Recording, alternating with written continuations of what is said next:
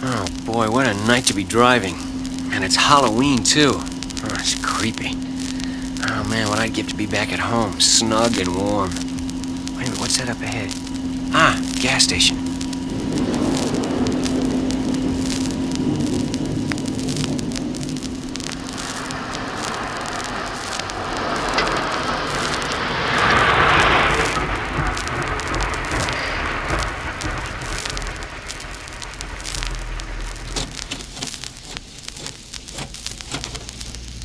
Uh, pardon me. Is this the way to Elm Hall Plantation? Yeah, uh, yes, uh, yes it is, but no one's there. I'd advise you to turn back. It's not safe in this weather. Thanks.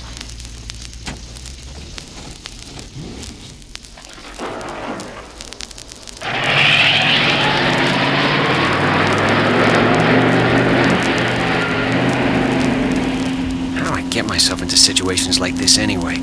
Who would have thought a week ago I'd be here, driving on a lonely, dark road looking for an old mansion? Well, what can you do? Last week I received that letter informing me that I had inherited an antebellum mansion just 20 miles outside of Natchez, Mississippi. It was left to me by my great grandmother who lived there all of her 90 years. Boy, that's a long time. Let's see. The mansion was built, I think, in 1820, and according to the stories I've heard, it has a very mysterious and tragic history. I believe one of my ancestors, as a small child, fell to his death from a high window in the old place. It was very mysterious as the story goes. As I recall, the window from which he fell was never closed following the accident. That's kind of weird. Anyway, the child's mother never recovered from the loss, nor did she ever leave the house again. Years later, she passed away, her mind that of a little girl, ever since the night of the accident. I've heard that she only walked at night, clad in a gossamer white gown, breathing the only word she ever said for the rest of her life. My baby. Have you seen my baby? Oh, I talk about creepy. Legend has it that on stormy nights like this, oh, they don't get any stormier, a white ghost-like form glides down the long corridors of Elm Hall. And it's even been said that some have sworn to have heard a cold, whispering, childlike voice saying, My baby, have you seen my baby? Ah, that's silly. Things like that only happen in the movies. And yet, legend also has it that those who have heard the voice have died tragically within the next year. yeah, it's funny how these stories get started and are passed down from generation to generation. Yet, the eldest son of each generation at Elm Hall has always died mysteriously before his 25th year. Wait a minute. I won't be 25 until next week. Hey, gotta be careful, old boy. oh boy, this storm looks like it'll never let up. And the lightning. Whew. Huh. I wonder what it was like in the old days. Plenty of servants, I bet. Horses, carriages, and those, oh, those beautiful southern belles. Ah, yes, riding off to war with Beauregard. My old Elm Hall was certainly a pride of the Old South. I bet it's a wreck today. My luck. I seem to remember another story about the old place. What, what was that? Oh, yeah, something about one of the daughters who was exceptionally beautiful. In fact, wait a minute, wait a minute. I remember an old photograph I once saw of her. And she was beautiful, even in that old-timey picture. Let's see, I, I think it was during the Civil War. That's it. Her name was Elizabeth, and she fell in love with a Yankee lieutenant. When her father found out, he went into a wild rage and told her she couldn't see the young lieutenant again. For weeks, she just stayed in her room. And then one day news came. Her lieutenant had been killed in the war. That afternoon, she rode her favorite horse. Oh, wow, what was his name? Uh, uh, Dancer. That's right, Dancer. She rode Dancer down to the Mississippi, and her horse returned home to Elm Hall that night, riderless. As I remember the story, about a week later, some young boys fishing on a sandbar saw her float by. Her body was returned to Elm Hall, and she was buried in the family cemetery on the grounds of the plantation. They say that on summer evenings, when it's deathly still, some people can hear a rush of wind like, like a rider passing by. And the Spanish moss hanging from the old tree in front parts like someone has just passed through. Oh boy, that's creepy. Some say it's Elizabeth looking for her lover, and yet others say it's her favorite horse, Dancer, looking for her. For every day, for the rest of his life, her horse would walk riderless to the Mississippi and wait patiently until nightfall for Elizabeth to return.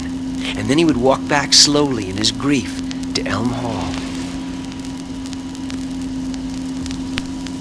Wait a minute, there's something up ahead. It, that's it, yeah! That's the old place. That's Elm Hall.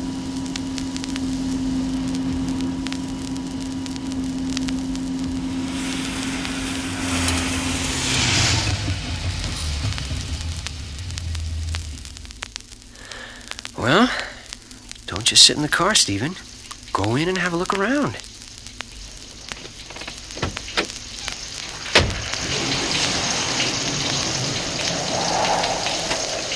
Window upstairs. It's open, and the curtain is flapping wildly. Look at that! There seems to be a light on up there. No. Come, come on, there's no light on up there. What are you... Stephen, you're imagining things. Oh, boy, it's still creepy.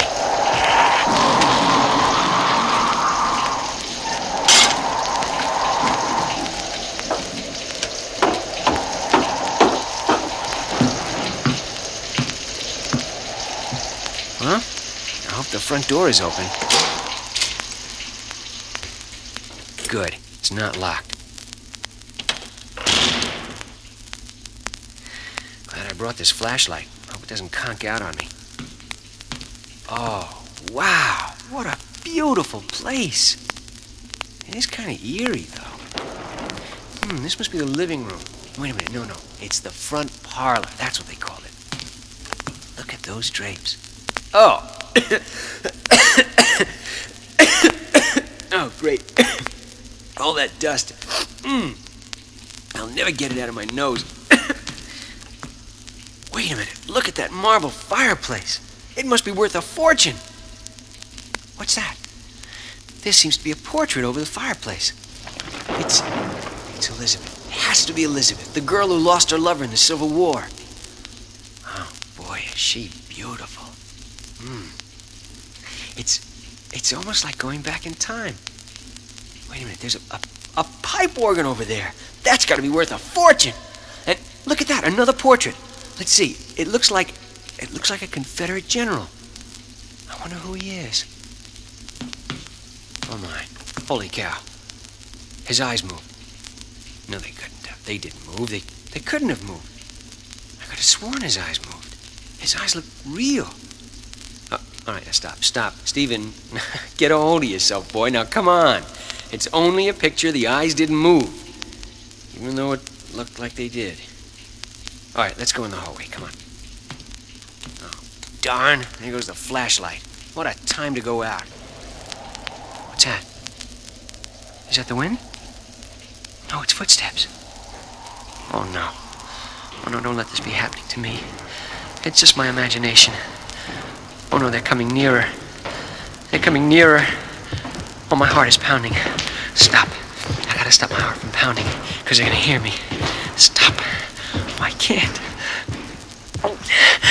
They're going past me. They must have seen me. They must have seen me. They must know I'm here. Anything. It's so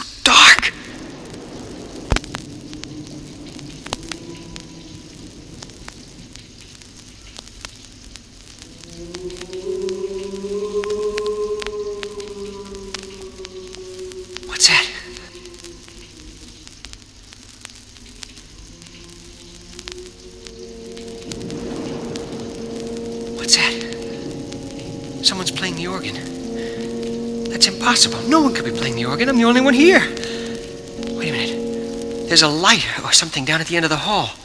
Wait. Wait a minute. This it's somebody. It's somebody coming down here.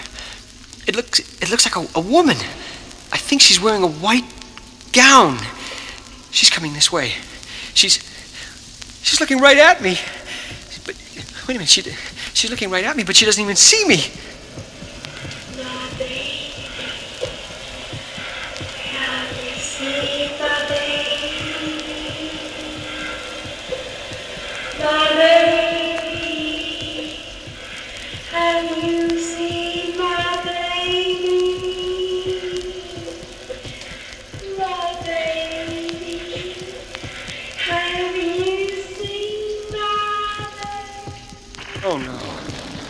Oh no. She just. She just floated right through the wall. It's like a dream. That's it. It's a dream. It's a dream. It's just a dream, Stephen. Oh, my heart's about to explode. Good Lord! What's that? Oh, it's right here. It, it, it just missed me. I, it feels like a, a coffin. No, no, it can't be a coffin. Oh, don't let it be a coffin. Wait, wait a minute. I, I think it's a, a, a grandfather's clock. Please let it be a grandfather's clock, please. Oh no, not bats. Bats! I can't stand bats! Get, get, get away! Get, get away from me! They're in my hair! Get, get! I can't take this any longer. I'm getting out of here while I still can. Where's the front door? It's, it's this way. No, wait a minute. I, I, I think, I think, I think it's this way. Oh, wait a minute. Wait, stop, stop. You, you got to think straight now. Now, now, stop. Where are you? You took a left. You took a right. Get me out of here! Get me out of here! Wait a minute. It's the door. It's the it's the door. Won't open. It won't open. It's it's it's, it's gotta open. Open up. Open up. Door, please open. Please, door open. I'm trapped. I'm trapped. Oh, oh thank heavens. It opened. Wait, what's that? What's that? A horse. I'm getting out of here before I go mad.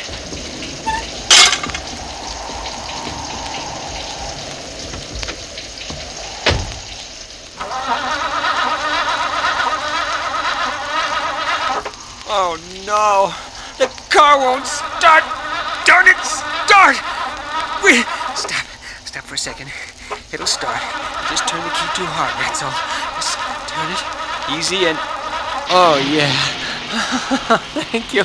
Thank you, car. Thank you. I'll never go near that place again. That's it. I've got to unload that place. I don't care what I get for it. I've got to unload it. I'll take anything. Is this the right road? Oh, it's gotta be. I hope I'm heading towards town. I must be getting near that town by now. Yeah, th- there's the gas station. Oh, good.